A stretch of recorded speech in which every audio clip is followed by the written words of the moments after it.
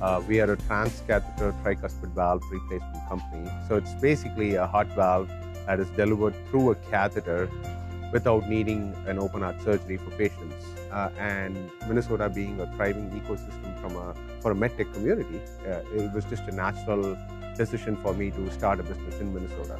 Minnesota is a hub for uh, medtech uh, devices and medtech innovation.